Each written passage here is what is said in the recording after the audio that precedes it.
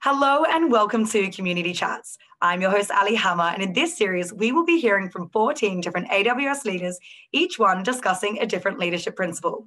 Here to discuss the leadership principle, have backbone to disagree and commit. We're joined with Katrien Pagnaer, our AWS mid enterprise sales lead. So, Katrien, thank you so much for being here today. Can you start by telling us a little bit about what the leadership principle, have backbone to disagree and commit means to you, and also why it's so important here at AWS? Yeah. Hey, Aley, thanks a lot for um, hosting the chat. And first of all, uh, have backbone, disagree, and commit is one of my favorite leadership principles. Um, my boss definitely enjoy, enjoys me having a lot of backbone, disagree, but we also know when to commit. Um, first of all, what does that leadership principle actually mean? It actually means we welcome people with diverse opinions. We welcome people with everybody in our team to actually give their personal opinion, uh, but also knowing when to commit. So, what does that mean? We're not looking for social cohesion, but we want everybody in the team to come together as one and also trust that if we make a decision together, we collectively win together as well. Absolutely. And being able to stand by your ideas is such an invaluable skill to, to any business. So, Katrien, can you share with us a moment where you actually had to disagree and commit to an idea while working at AWS? Because I imagine it can be quite awkward depending on the audience. Uh, one of my favorite ones is actually our interview process. So, mm-hmm. um, as a as a bar raiser, I get to or bar raiser in training, I get to see a lot of interviews. And a favorite one is that our loop process is very rigorous. So we have five different people who are each interviewing a candidate looking at different data points that the candidates provide. But nobody's allowed to see the feedback until we all submit the feedback um, in the tool.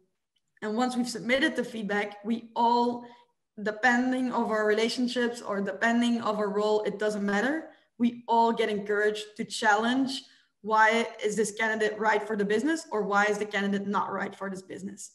The cool part about it is once we go into a final vote and we agree on that decision, we each commit and we cannot go back to challenge that decision. We all fully commit and we move forward as that candidate is or inclined or not inclined to join our business. So to me personally, it's been one of the most interesting hiring processes I've seen in any business. And it's just something that accelerates a decision, but also gets us to come together as one. What an amazing way to make an impact. And I know that in many companies, you know, employees can't necessarily challenge their seniors. So it really is fantastic that AWS has made it, you know, one of our key leadership principles and that we actually encourage it. So, Katrien, can you explain to us why you think it's important for employees to challenge the decisions of people who, you know, are your seniors or might be considered to be your seniors? Yeah, I think an important thing to understand is in AWS, we hire leaders. So we actually expect everybody to be a leader. So we're looking for people who are comfortable to share their ideas, their viewpoints, um, not just look for consensus and agreement, but actually come up with the best ideas.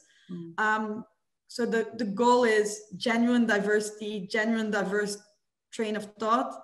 So people actually gain confidence to share their opinions but also to give them room to experiment and to grow uh, in, in our business. So yeah, I really feel like it definitely takes backbone to disagree with someone like your boss. But if you know you're right, it's great that we are supported in in challenging somebody. So, Katrien, finally, can you share with us a few of the ways that AWS, not just yourself, supports this leadership principle within our teams? Yeah, I think one of my favorite ones, or a, a mechanism, what we would call it, is the concept of one way and two way doors. Mm. So when we when we say one way or two way doors, one way doors are most impossible to reverse decisions. So it's it's once you commit, it's that way. So for example, building a new data center, you cannot really remove the data center, or quitting a job is maybe a more practical example. Um, but we in AWS believe that 99.9% of decisions that anybody gets to make are actually two-way door decisions. So it's easy to reverse. If you don't like what you see, you just go back and you reverse or change your decision. So the goal of our business is how do we accelerate decision making? How do we drive the most ownership to an individual? So everybody from people in my team to somebody on the other side of the planet working at AWS, will hear this uh, expression saying, is this a one way or a two way door decision? It's a two way door decision, make it, take ownership of it, feel comfortable with it, um, but take it to the end. Make sure that you feel comfortable with your decision, but also back yourself. So, um, taking ownership to me is very much tied to making decisions in our business as well. Katrien, what a great example. And I just loved having you on the show today. And especially this um, leadership principle is probably something that I personally would have chosen if I was invited to talk on one. It's been such a joy having you on the show. And to all our viewers, we'll see you next time. Thanks so much. Thank Bye. You.